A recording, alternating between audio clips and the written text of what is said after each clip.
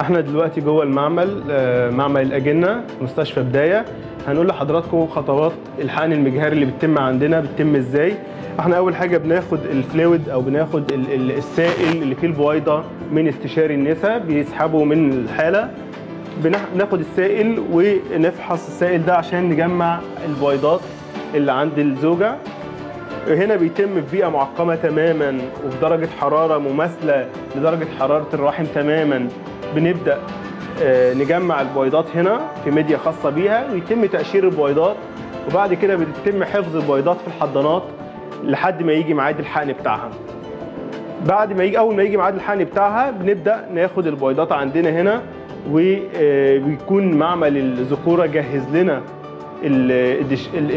السائل المنوي بتاع الزوج اللي هنحقن بيه البويضات بيتم حقن البويضات على أجهزة الحقن المجهري.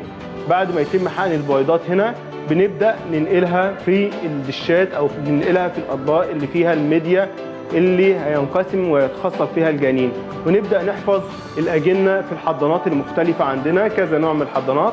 نبدأ نحفظ الأجنة بتاعتنا لحد ما يجي ميعاد تاني يوم الاخصاب بعد كده ميعاد نقل الأجنة.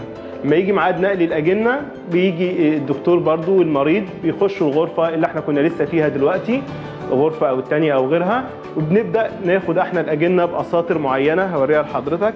الاساطر دي بنبدأ ننقل فيها الأجنة. بعد اذنك دكتور محمود القسطره بنبدأ ننقل الأجنة هنا في الاساطر الخاصة بيها ونبدأ نديها للم... للدكتور من الشباك بتاع غرفة العمليات برضو.